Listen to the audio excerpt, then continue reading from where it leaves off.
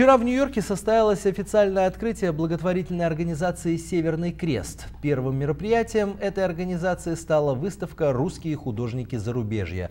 Мне удалось побывать на этом мероприятии. В Нью-Йорке открылась выставка «Художники русской диаспоры». Выставку организовала нью-йоркская благотворительная организация «Северный крест». Участие этой организации не случайно. Северным крестом называют яркое созвездие, которое русские мореходы издавна использовали как путеводный знак для возвращения к родным берегам.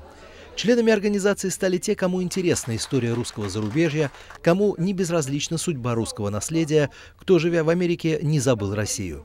Приятно, что среди активистов организации очень много молодежи, студентов, выпускников университетов и колледжей, тех, кто приехал в Америку ребенком или даже родился здесь, но помнит корни своих предков. Основная, основная задача нашего фонда – это создать условия, создать предпосылки для общения российских и американских историков, а также собрать максимально то, что сейчас доступно, собрать максимально материальные Э, всевозможные книги, газеты, журналы, все, что связано с историей русской диаспоры в Америке. Одно из направлений – это организация выставок русских художников. И вот сегодня такая выставка, мы даем возможность, мы стараемся рассказать о художниках и даем возможность им высказаться о своем творчестве.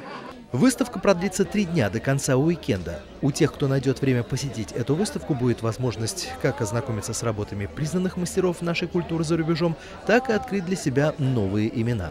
Это очень, это надо приветствовать, потому что я вложу в мои картины интеллектуальные силы мои.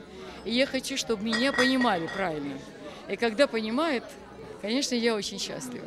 Самое главное в работе – это побуждать человека думать, мечтать и, может быть, дать что-то позитив и дать какую-то э, мечту о улучшении жизни.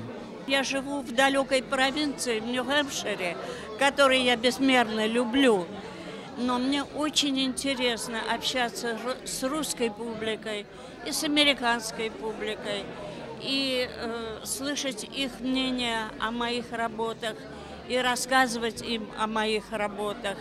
Э, это все очень интересно.